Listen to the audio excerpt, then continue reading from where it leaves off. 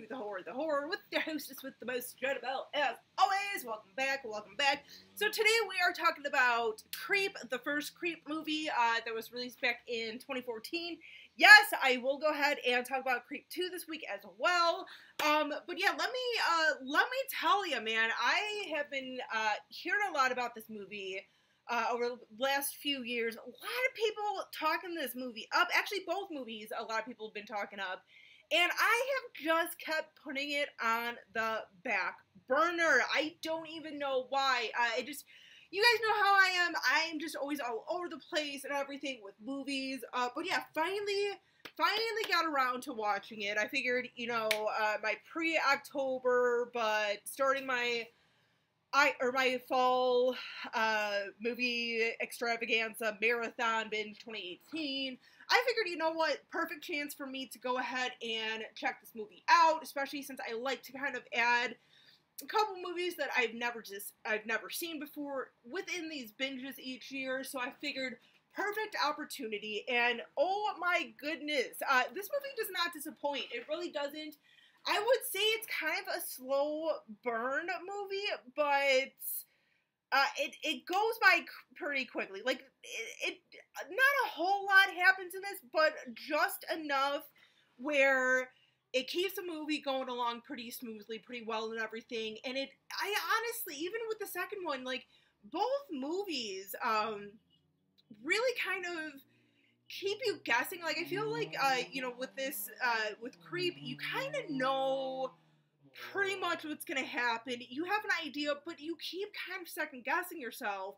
Uh, like, wait a second, is this really gonna happen? Oh, you know, I, I, you know, couldn't believe that happened and stuff. No, but it, it was really, really well done. I feel, um, and especially two guys like this is one of those like found footage type movies, and yeah, I mean, I'm, I'm one of those people. I'm pretty uh, open, like I'm kind of over the whole found footage stuff, but I keep kind of checking them out to see if I come across one that is actually legitly worthwhile.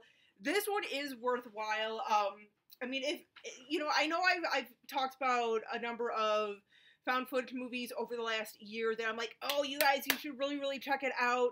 Uh, I mean, if nothing else, if you don't even check out those other movies, you know, such as uh, the houses that October built or Hell House LLC, the first one. I haven't watched the second one. I am planning on watching the second Hell House though. Um, you know, other things such as as that nature. You know what? Do me a favor. Don't worry about watching those. As much as I would like you guys to watch those movies, um, you know what?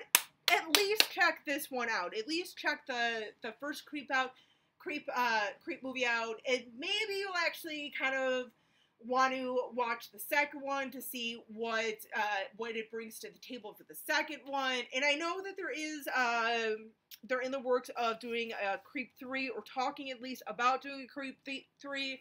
Uh, no, but this is a, a really really decent one.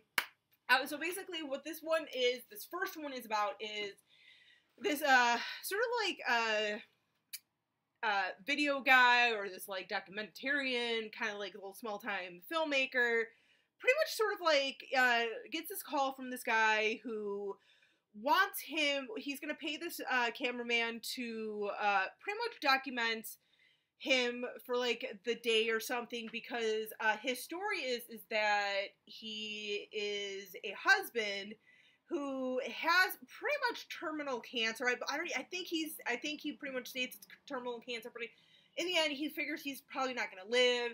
His wife has um, is going to have a baby. She's pregnant and everything, and he kind of wants to document, you know, a little bit about himself, so, so that way his uh, future son that is growing inside his wife, you know, will have something sort of to remember him by, get to know his dad a little bit since he might not be around because of cancer and everything. Uh, pretty quickly though, uh, you know, because you kind of start seeing little things where you're like, it pretty right off bat, where you're like, there's something a little off about this guy. Like, obviously there's going to be something off about one of them, because uh, the movie's called Creep. Um, you know, so, but yeah, yeah.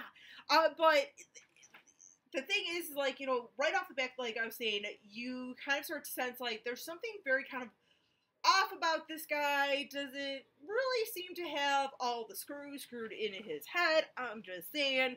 And what do you know? He's like this um, clingy high school girl who just can't like let her boo go. Uh, maybe not quite to that extent. Uh, that's a little uh, a bit bad of an analogy. But no, this guy kind of uh, slowly is like, "Hey, man, we're you know we got a connection and blah blah blah. I got you this uh this necklace, this locket, and everything. It's got our pictures in and everything, and you just throw it out like it's just weird shit like this. Um, and we also find out too uh, before the cameraman leaves and kind of like hightails it out of there. Um, that um, this guy's sister calls, who he thinks, the cameraman thinks, is this guy's wife. He's like, oh yeah, you know, your husband, he's here. Here's the thing. He's passed out. He's got my keys. I'm trying to get out of there, out of here. And the who he thinks is the wife is telling him like, no, you need to get out of there. Like he is not right. He is dangerous, you know. And, he, and he's like, well, okay, uh, like, you know, this is your husband. Like, do you want me to do something with him? Do you want me to call help or something? He's like, that's not my husband. That's my brother. Like, you know. And it's kind of weird too. Uh, after we find uh, find this out that he uh, is not really married, but this person that he's trying to pass off as his wife is his sister. It's really kind of weird because he, at one point, this guy describes to the cameraman about how one night he, uh, I think while they like they were dating or something, uh, he had creeped into her room with like a wolf mask that he always wears, and it's like, yeah, we had this like ravenous, uh, animalistic sex, and you're kind of thinking like, fuck, dude, if that really happened, that is freaking disgusting, dude. Oh my god. I don't know what's more disgusting, that rape scene in the uh, Mexico Barbaro uh, anthology movie that messed me up, or that little tidbit right there, because that is disgusting. I, rape is disgusting too. I don't mean to make a joke out of that. I really don't. Uh, but it just, it's like, it's so in your head, like, oh, dude. Uh, but no, I mean, this is actually a pretty, uh, it's a good movie. And, and, like I said, you know, for those of you who are so like, oh, you know, forget found footage, give it up. Like I said, any other uh, uh recommendation of found footage type of stuff that I've uh, I've referred to you guys, ignore those and at least do yourself justice and check out Creep. I'm telling you, man, you guys are not going to regret it. You guys will not be disappointed. It's it's got some good little uh, ins and outs and everything. It is it is really is truly a terrific little film. Let me know what you guys think. I, I know I'm literally like one of the last people to actually check this movie out. Check it out though. I know it's on um uh, Netflix. It is on Netflix. Both both the first and the second is on Netflix check it out, do yourself a favor, and check out the movie. Actually, both movies. Uh, till next time, guys, as always, stay creepy, classy, and a little bit sassy.